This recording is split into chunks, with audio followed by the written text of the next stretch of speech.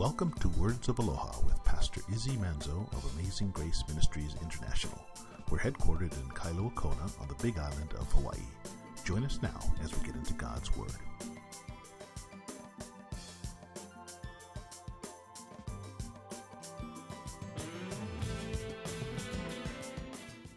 Father, as we are honored and privileged to be able to call you Father, it is an awesome, awesome thing to recognize your love for us and our relationship uh, to you because of Jesus.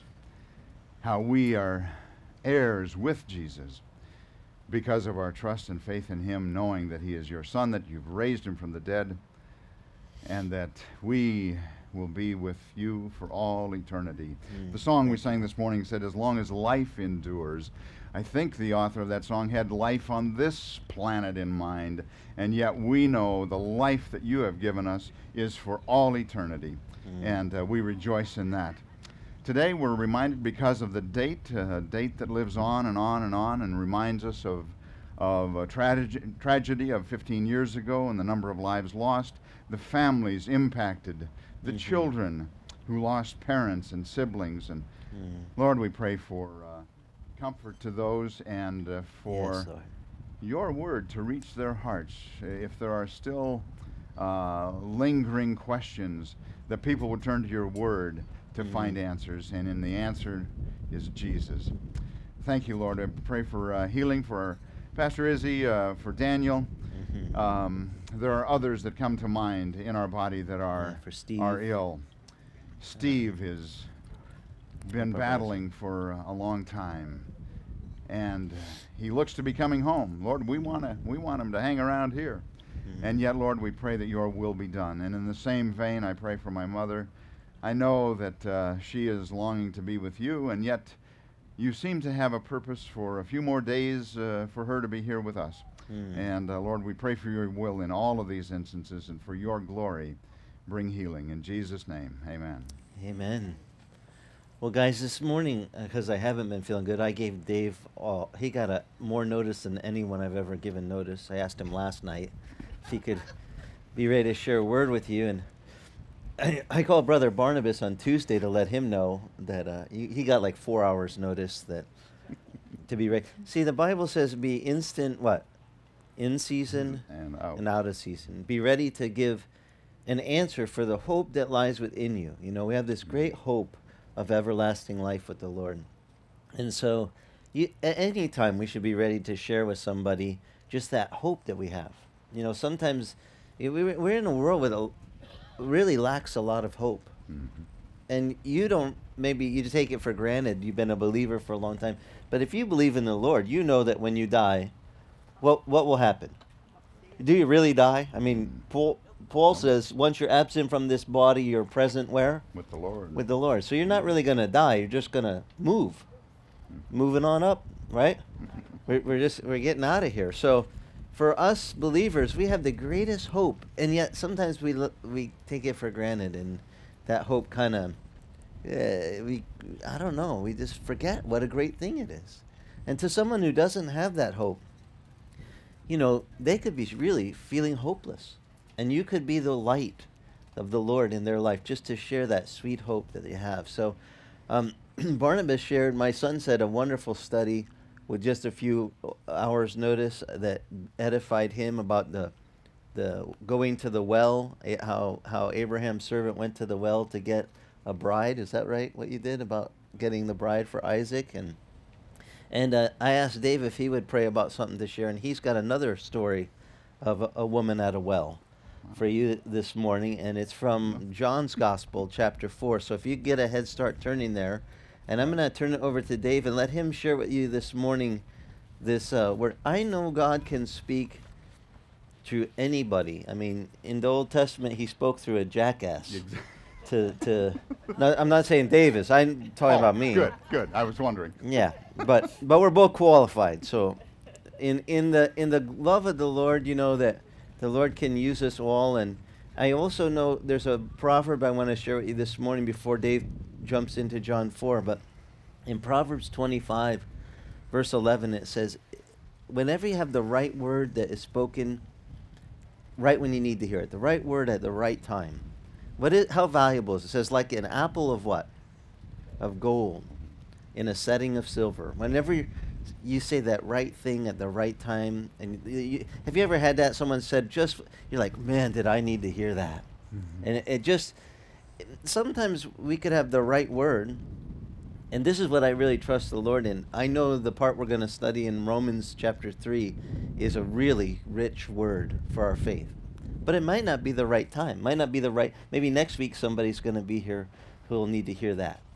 But I think today God's going to use Dave to share a right word for us from John chapter 4. So this word may it just speak to your hearts and and give you what you need for this week to get you you know equipped to share the hope that we have. And so, Dave, take over, Amen. and um, Amen. it's all yours, buddy. You can have the chair and all. I'll go sit over here. all right.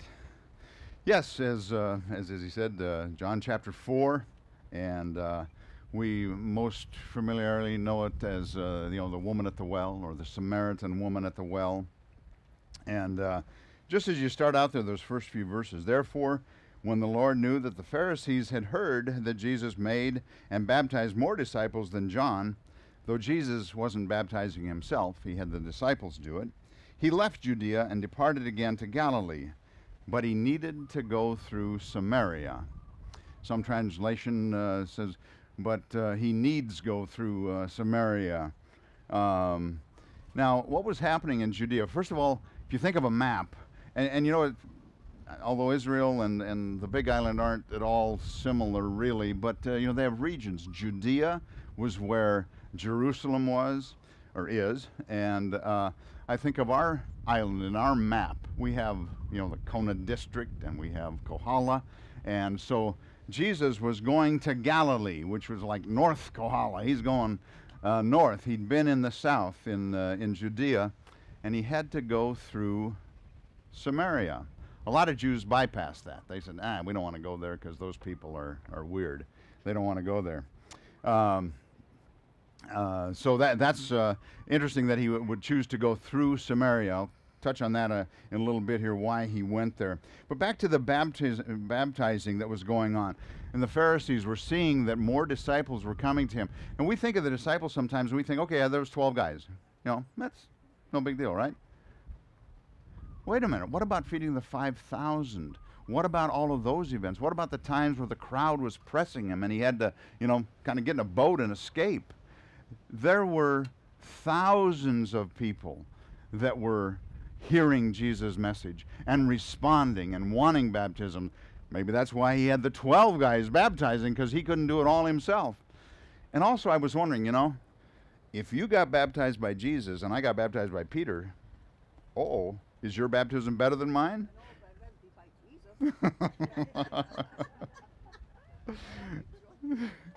Maybe that's why he was delegating the, the responsibility to his disciples, so there wasn't any, uh, hey, I got baptized by Jesus. And also because I think he knew that another baptism was coming, right? In Acts 1, 1 5, uh, Jesus says, For John baptized with water, but you will be baptized with the Holy Spirit. That was the baptism that Jesus was bringing. That's what he was wanting to baptize us with.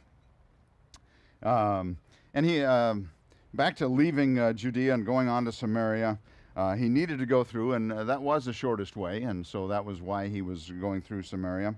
Um, what, what is it about these Samaritans that uh, kind of uh, made them lesser thought of? they were kind of half breeds. They were had uh, intermarried and uh, with some of the conquering tribes that had come there. And not only was there intermarriage and and, uh, and so on, but they'd also adopted some of the religious beliefs of uh, some of these other other groups. And of course, when the when the Israelites were taken off in captivity, they said, "Oh, we're not them." And then when the Israelites were in power and so on, "Oh, we want to be like them." But they were they had adopted some of the uh, religious beliefs of some of these uh, other other groups. Do we see that going on today? Yeah, you got a little mix of little new age stuff. You got a little oh throw a cross in there and uh, um, little mixture of, uh, of, of things going on, and that's why uh, the Jews didn't want to have anything to do with them. They were, they were kind of outcasts. They were not what they wanted to associate with. And what about Jesus going there now? What did he say in Matthew? Matthew 10, 5 and 6. His instructions to the disciples when they were leaving. He says, Do not go in the way of the Gentiles. Do not e- enter any city of the Samaritans, but rather go to the lost sheep of the house of Israel. So early on, when he's telling his disciples to go out, he told them not even go there. But now, he needs to go through Samaria. Why? It's kind of They needed to hear. They needed to hear what he had to tell them. They needed to know that the Messiah had come. Uh, so, continuing on, starting at verse 5. So he came to a city of Samaria, which is called Sychar, Sychar, Sychar, uh, near the plot of ground that Jacob gave to his son Joseph. Now Jacob's well was there. Jesus, therefore, being weary from his journey, thus sat by the well. It was about the sixth hour. A woman of Samaria came to draw water. Jesus said to her, Give me a drink. For his disciples had gone away into the city to buy food. Then the woman of Samaria said to him, How is it that you, being a Jew, ask a drink from me, a Samaritan woman? For Jews have no dealings with Samaritans. So here he is, new city, sitting by the well, and a woman comes to get water. It says he's tired. Why would Jesus be weary? Was it because he was fully human as well as fully God? Was he tired from the journey and decided to sit by the well and the disciples went off? He'd been ministering to people. He'd been baptizing. He'd been doing uh, a lot of a lot of things, and now he's traveling. His disciples went off to get some food, and here he is by the well, tired, wanting something to drink. And it's about the sixth hour. What time is that? Noon? About noon. Not usually when you go to get water. Usually that's one of the first things in the morning. First of all, it's cooler. You know, the supplies at the house are diminished, so you need to refresh the supplies. Now we have really no relationship to that at all because we go to the faucet and oh, water. Wow. We don't have to walk to the edge of town and carry back pots of water. Uh, however, many of you have, uh, I remember my grandparents' farm, the well was like 100 yards from the house. You had to go out and pump the pail and bring it in the, in the house for grandma to cook or wash or whatever she was doing. My aunt and uncle, they were pretty modern. They had a they had a pump at the kitchen sink. Woo-hoo!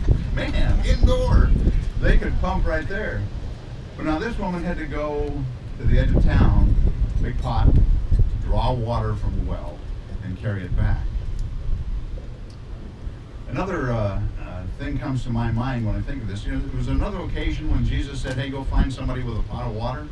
Remember, just before uh, the Last Supper, and the, the disciples had asked, "Hey, where are we going to celebrate uh, Passover?" And he said, "Go to town, follow the man with the water pot." The middle of the day, again, an unusual time to be drawing water. Another thing unusual about that was a man. So they, they, he told them to go to Jerusalem, follow a man with a water pot. And you think, oh man, that's you know, a big city. How are they going to find a man with a water pot? Well, that usually wasn't the job for men. So he would stand out. They would know they had the right guy. If there was a dozen women carrying water pots, only one man, they'd follow the man. Here, the woman is there at noon. Oh, why was she there at noon? Some emergency come up. They ran out of water. Maybe when we hint, get into her history, maybe she was not welcomed by the other women of town. They didn't want her around when they were drawing water. Hmm, maybe. Um, why did Jesus engage her? Why did he uh, say, "Give me a drink"? Probably thirsty. But I think we'll see that there's probably more to it than that. Now, just that he spoke to her was a little unusual because I've already told you that Jews and Samaritans don't have a lot of interaction. Jesus was considered a rabbi, a teacher. Rabbis and teachers would certainly never talk to a Samaritan woman. My goodness, that would be just outrageous. But she says right away, Um, how is it that you, being a Jew, ask a drink from me, a Samaritan woman? Why do you ask? Um, so immediately he's engaging her in conversation. There's a great book, How to Share Jesus Without Fear, uh, by William Fay. And in it, he talks about just asking some questions. And the answer doesn't make any difference at all.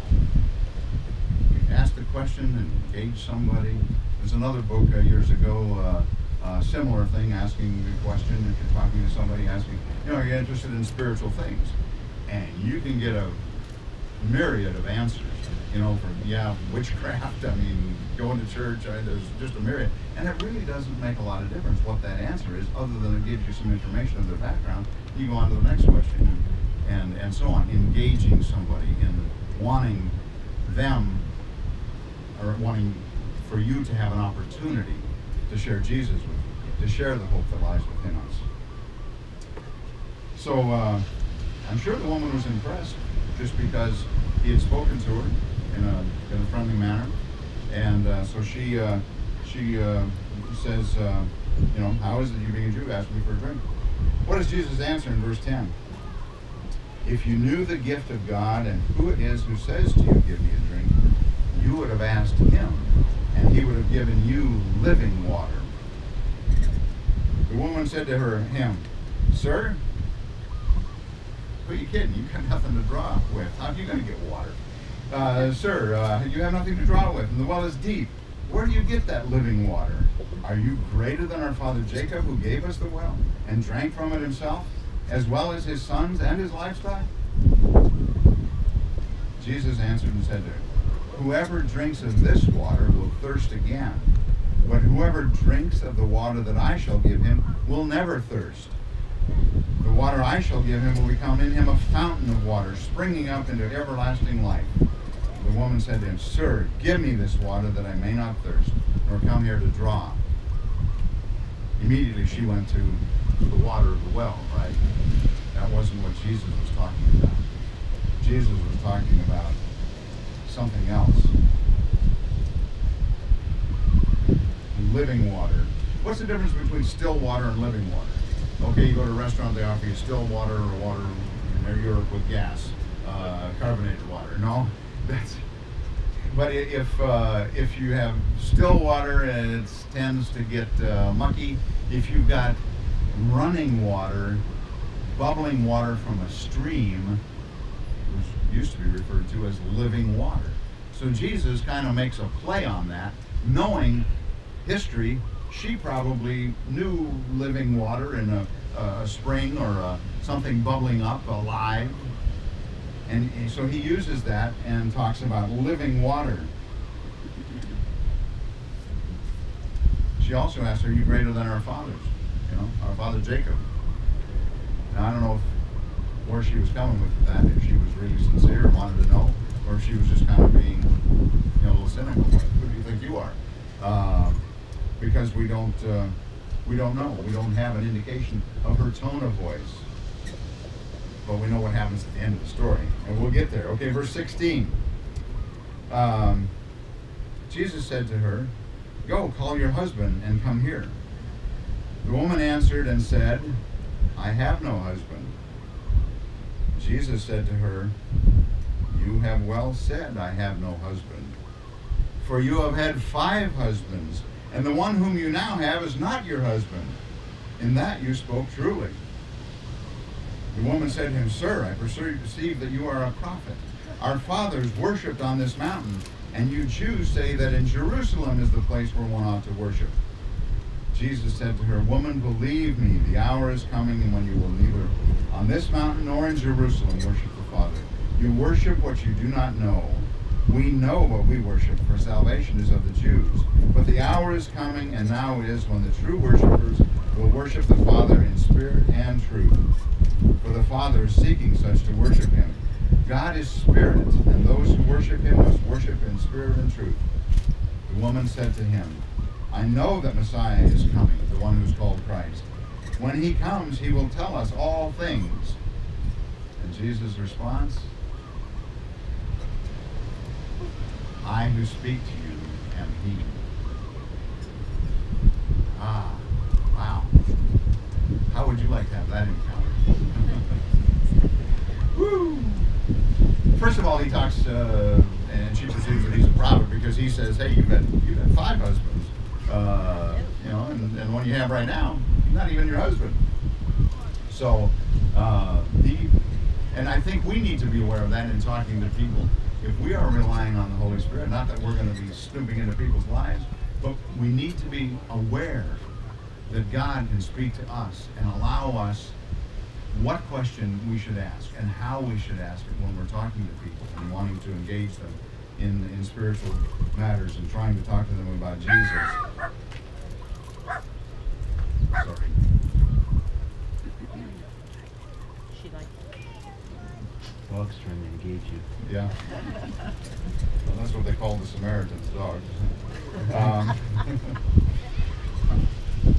so, um, okay, the one you you've had five husbands, and the one you have now is not your husband. So, why did Jesus bring this up? Was it just to point out, or you know, the error of her ways? Um, she had just said that she was going to recognize the Messiah. Was he wanting to point out, hey, you want to focus on this life, or do you really want to focus on on the Messiah and who the Messiah is? She also brought up this issue about worshiping. Um, hey, we, we, she wants to kind of debate and uh, talk about, you know, we worship on this mountain, you guys worship in Jerusalem. Have you ever talked to people when you're wanting to share the love of Jesus and you wind up getting in a debate? I have a real good friend, Dennis, and he talks about that. And he he's a good debater. I mean, he is he's very smart, knows the Bible, and he talks about times when he's gotten into conversations and he knows he's won the debate. And he walks away thinking, wow, that's not what they needed. They needed to hear Jesus' love for them. And do we not do that sometimes? We want to convince people. We want to win the argument. And what Jesus wants us to do is show love. And so if if she was wanting to bring up this idea of hey, you know, we worship here and you guys worship there, and he didn't he didn't buy into that. He didn't he didn't go for that trap. You know, we sing worship hymns, songs. You know, we sing from the hymnal, and we get all kinds of uh, ways to get baited into discussions about things that really have no value. So what's Jesus' response? He says, "You worship what you do not know." And then he goes on. You, wor- you worship who you do not know. Worship what you do know. And I think that applies to us today too. God is spirit. God's spirit is uh, who, how we must worship Him. We sing, but it's our heart. I know there are times when I've, you know, been here. I know the songs have been sung. It reminds me of that old cartoon of Dennis the Menace. He's sitting in the corner and he says, I may be sitting down on the outside, but I'm standing on the inside. yeah, there's sometimes, how's my inside? Am I worshiping or am I sitting down? Am I going through the motions or am I allowing God's Spirit to worship through me? To worship in spirit means that you're concerned about spiritual realities and uh, not just not just the outward things. And uh, when he finishes up, I who speak to you am he. He just pointed out some sins in this woman's life, right? And yet, he says and answers her question, I am the Messiah. She's got to be pretty excited about this. Because what does she do? Verse 27. At this point, his uh, disciples came, and they marveled that he talked with a woman. Yet no one said, What do you seek, or why are you talking with her? The woman then left her water pot, went her way into the city, and told and said to the men, Come, see a man who told me all the things that I ever did. Could this be the Christ? Then they went out of the city and came to him. In the meantime, his disciples urged him, saying, Rabbi, eat. But he said to them, I have food to eat of which you do not know. So the disciples said, uh, Hey, has anybody brought him anything to eat? Jesus said to them, My food is to do the will of him who sent me and to finish his work. Do you not say there are still four months and then comes the harvest? Behold, I say to you, lift up your eyes and look at the fields, for they are already white for harvest. And he who reaps receives wages and gathers fruit for eternal life, that both he who sows and he who reaps may rejoice together. For in this the saying is true one sows and another reaps. I sent you to reap that for which you have not labored. Others have labored, and you have entered into their labors. So Jesus starts, starts talking about, hey, the food, what really gives me uh, nourishment is to do the will of my Father. There's nothing more satisfying than knowing that you're doing God's will. I don't think there's anything that can satisfy like that. And then he also says, hey, guys, time is marching on. The field is white to harvest. And there's not enough workers. There's not enough laborers. Uh, we need to uh, we need to get out and harvest. Um, Jesus had been sowing the seeds, and others have gone before us. There may be somebody in your life who someone else has talked to, has maybe planted some seeds. Maybe you're there at a time that's right when you can enjoy the harvest. On the other hand, maybe there's times and situations where you're planting the seeds, where you're giving words of encouragement, where you're pointing someone in the right direction, and it may be someone else that, that uh, is privileged to participate in the harvest.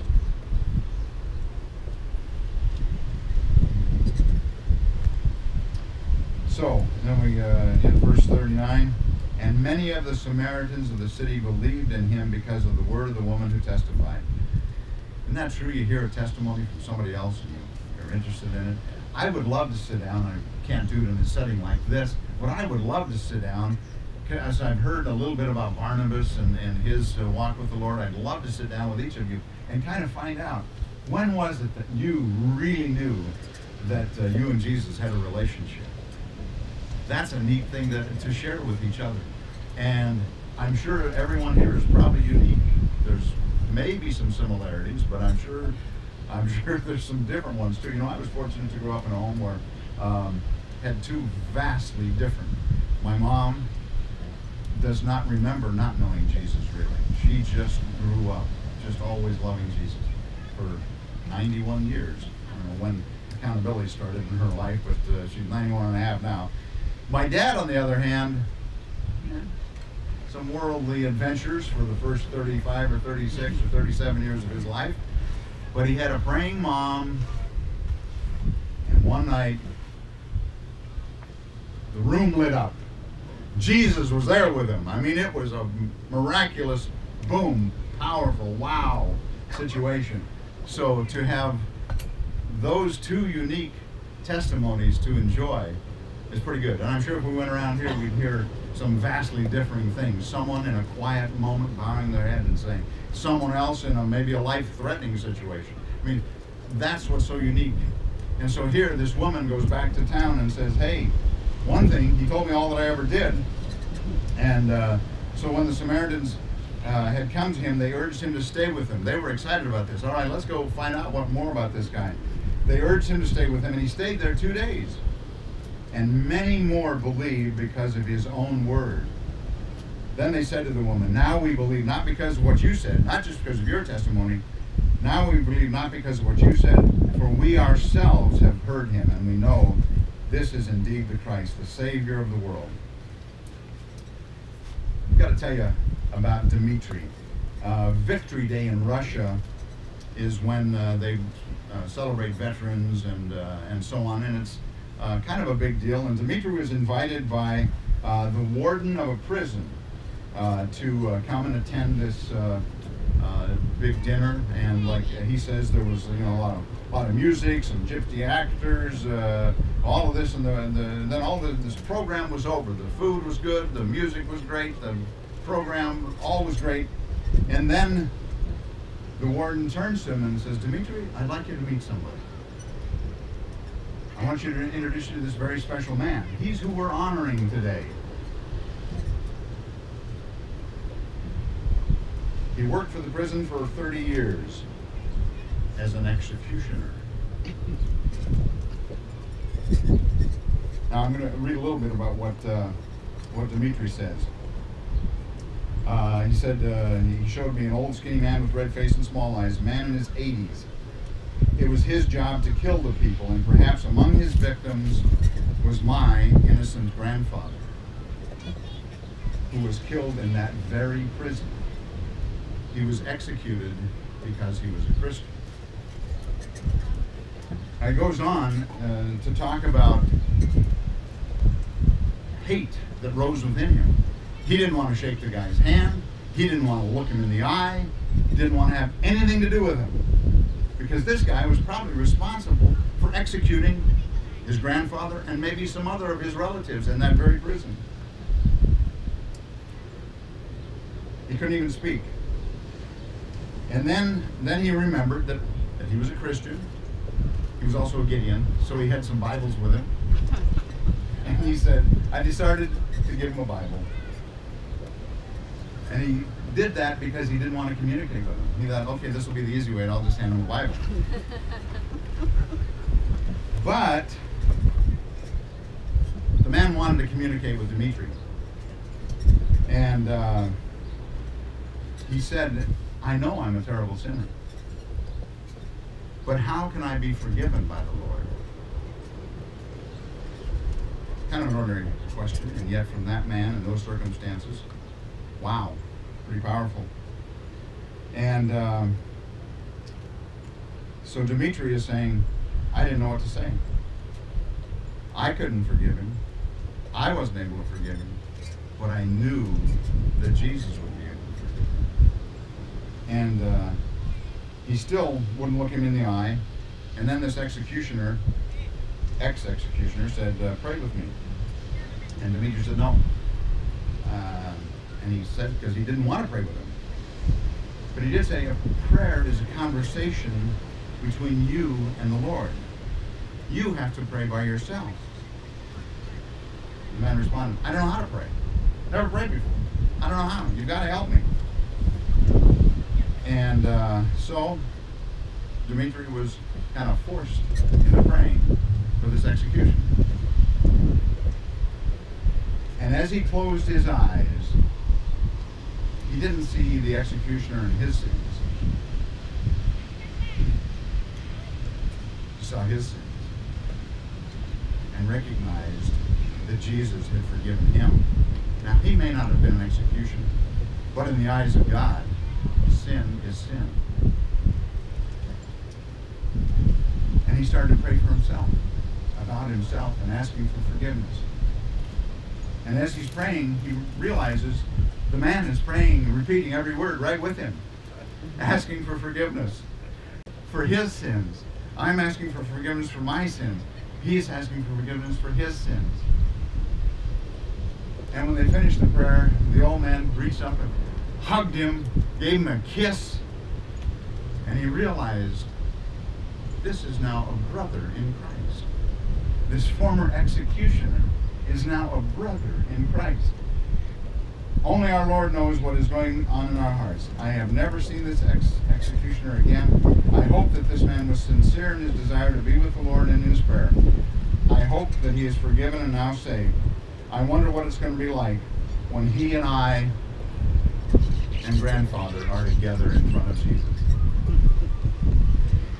Now, back to the woman of well.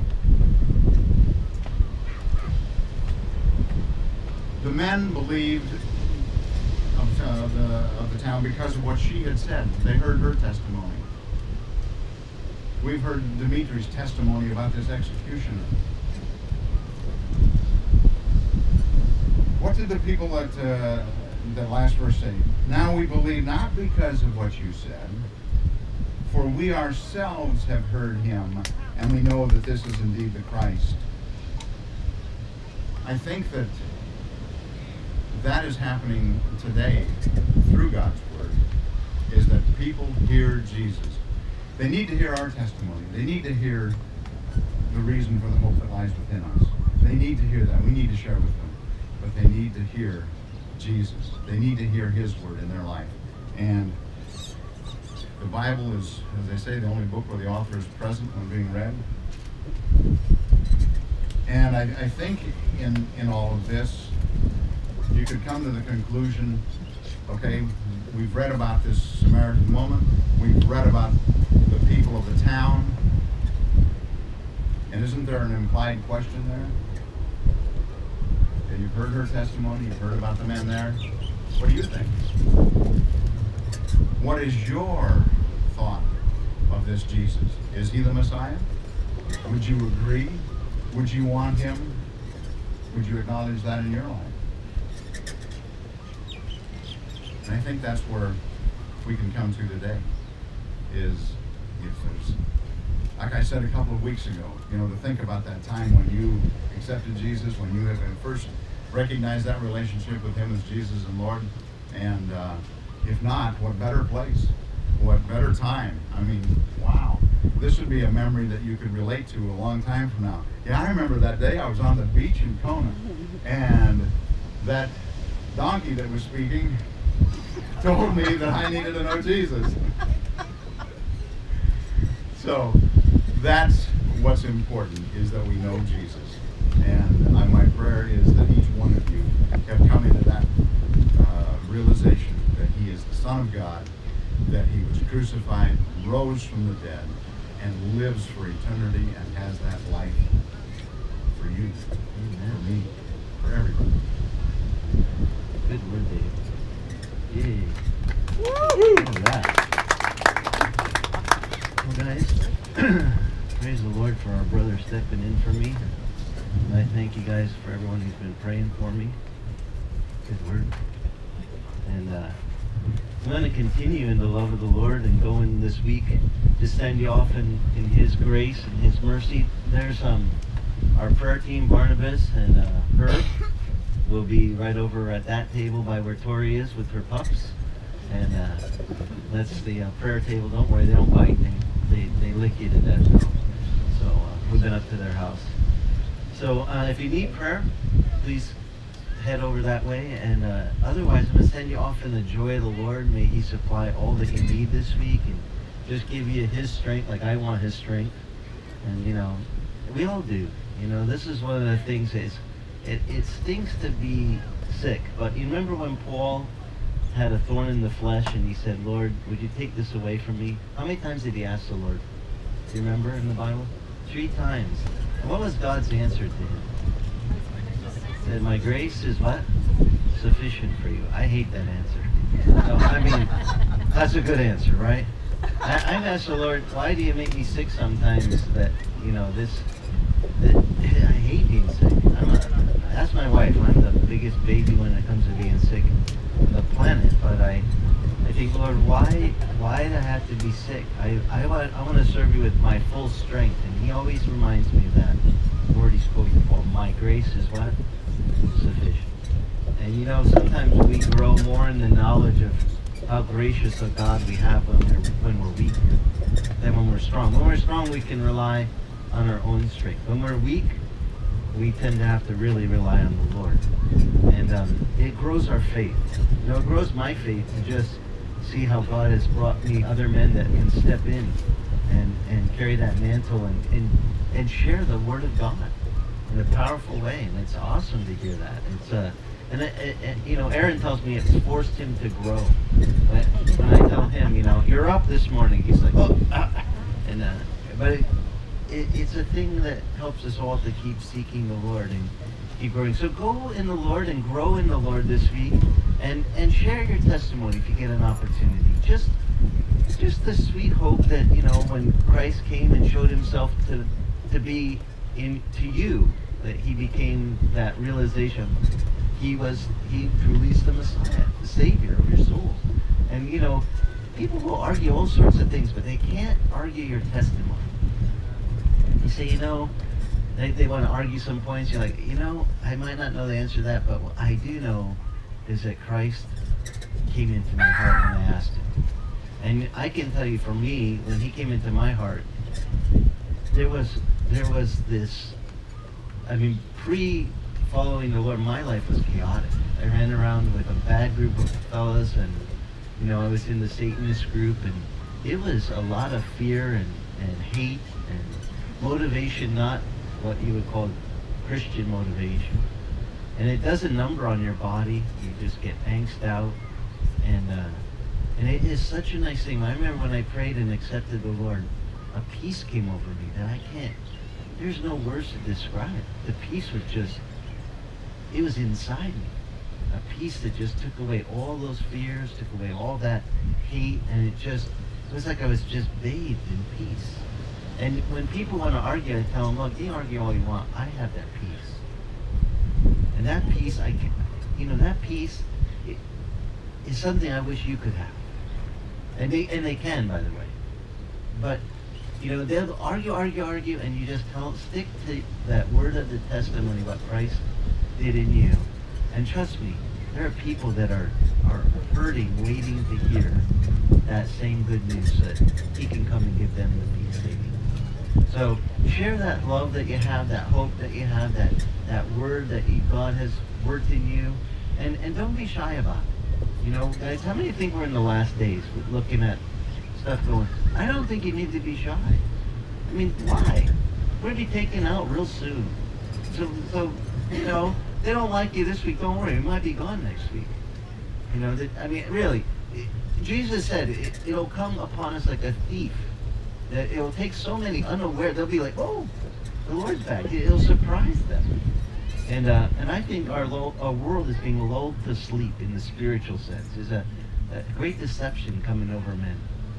And I think, what a great time for the Lord to come back, you know? He could be back any minute.